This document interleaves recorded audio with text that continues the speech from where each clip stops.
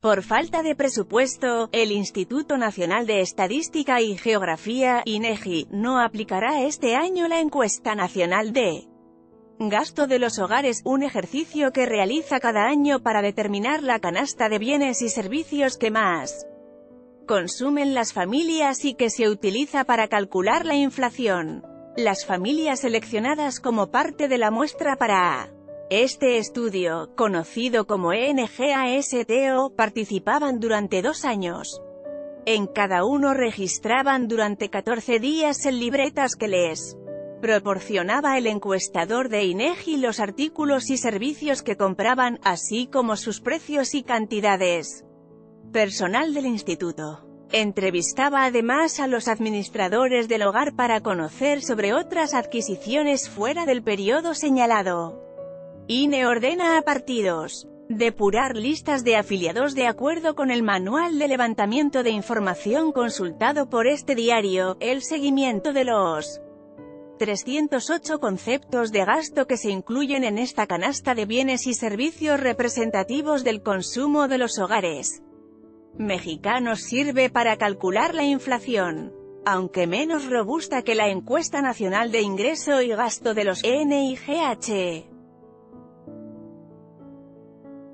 Que se realiza cada dos años, la ENGASTO ofrece, entre otros, detalles de cuánto pagó una familia por su servicio telefónico o de Internet, si gastó en regalos para otros hogares, así como los establecimientos donde habitualmente compra. El presidente del INEGI, Julio Santaella, dio a conocer ayer los ajustes en diversos proyectos, así como en prestaciones y remuneraciones debido a la reducción en el presupuesto para el instituto en este año por 500 millones de pesos. Además de la ENGASTO se cancelan otras encuestas nacionales como la de los hogares NH, que mide características de las viviendas y datos sociodemográficos, la agropecuaria, ENA, la de consumidores de sustancias psicotrópicas, ECOSUP, de población privada de la libertad, ENPOLY, la de trabajo infantil y el censo agropecuario, entre otras.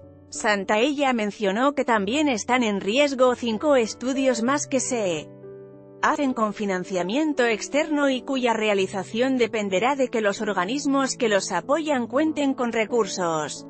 Se trata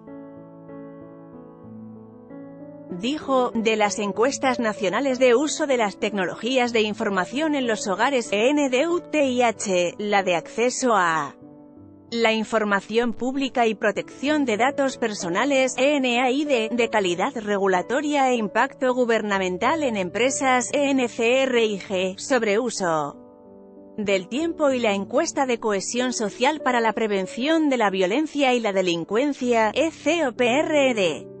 Finanzas Congreso. Analiza iniciativa de AMLO para reformar ley de Afore respecto al impacto de las medidas de austeridad para el personal. El directivo informó que a 68 altos funcionarios se les redujo su salario, a más de 8.000 se les retiró el seguro de separación individualizada y a más de 12.000 se les canceló el seguro de gasto médicos mayores. Sobre la ley de remuneraciones, Julio Santaella opinó que, si bien en el corto plazo suenan razonables, cuando las vemos con una perspectiva de largo plazo pueden ser consideradas relativamente miopes. Por ello dijo que el instituto a su cargo valora la posibilidad de presentar una controversia constitucional en la Suprema Corte de Justicia de la Nación, SCJN, en los próximos días.